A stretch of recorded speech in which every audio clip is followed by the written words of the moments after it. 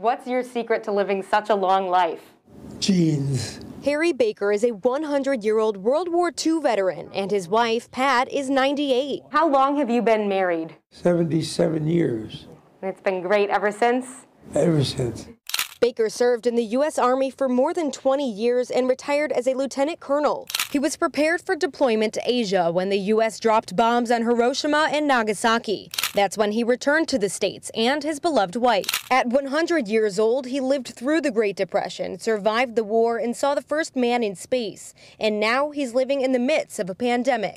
Now, when I was a little boy, my mother, my mother discussed the 1918 pandemic, and I was surprised that it happened again, having believed all these years that it never would happen again, but it did. And on Thursday, the Bakers met another milestone. Why are you choosing to get vaccinated?